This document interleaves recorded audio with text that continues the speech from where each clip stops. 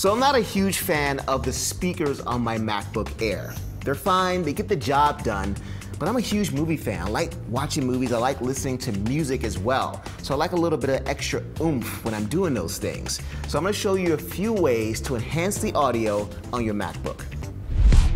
The first way is to use a program called Boom. Boom is a software equalizer and audio enhancer. You can get it on Global Delight's website or on the Mac App Store for free. After seven days, however, you will have to pay $6.99 in order to continue using it. Once installed, you'll see an icon on your Mac's menu bar. If you click on it, you get a volume slider. This works independent of your normal Mac volume, and what you can do is take your normal Mac volume really high and then boost it even further with the Boom volume slider.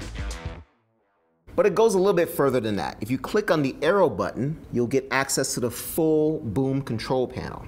So first I'm gonna show you an unenhanced version of the song. So I'm gonna start playing it here.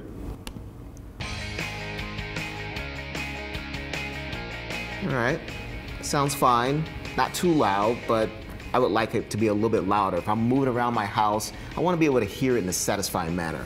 So I'm gonna go ahead and boost it. So way to do that is to go back to the Boom control panel, click on Boost File, then navigate to your file, drag the file into the Boost interface.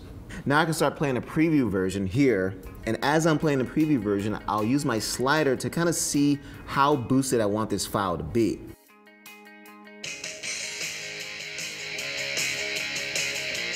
Mm, right there is about good. You don't want to boost it too high because that can lead to some distortion in the sound. So once I've decided on the level of boost I want, I'll click boost and the file is boosted. Now the great thing about this is that it doesn't alter your original file. It creates a new enhanced version of the file and automatically places it in a playlist called Boom. Let's go ahead and listen to our newly enhanced file. Okay, much better a little bit louder. I can move around my house a little bit and still be able to hear it. I like it. All right, good. Boom is also great for watching movies, including trailers. One of my favorite trailers right now is Gone Girl trailer number two. And this is the unenhanced version of Gone Girl trailer number two. Everyone told us and told us marriage is hard work. Not for me and Nick. Okay, the sound is good. I'd like for it to be a little bit louder. So I'm gonna go ahead and go into the boom control panel, and then I can select the movie playlist, which gives me a more balanced sound. Nick Dunn, you're probably the most hated man in America right now. It's not as harsh. The dialogue sounds crisp, but it's not too harsh. And if I'm unsatisfied with that, I can go in again and adjust the frequencies to my liking, and then create a new preset and call it anything I want. It's pretty awesome. For other options, there's hardware. First, there's Bluetooth speakers and also Bluetooth headphones. I'm gonna show you how to connect both.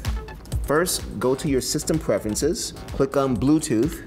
Now you wanna click on the sync button on your speakers. So go ahead and click on the sync button. Wait for it to appear, and then click on pair.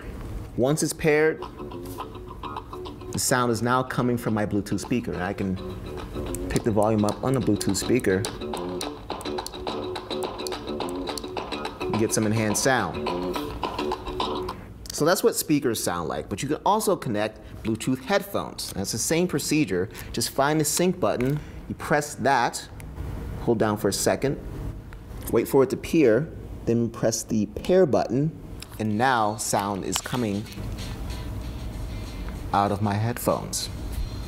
Sounds good.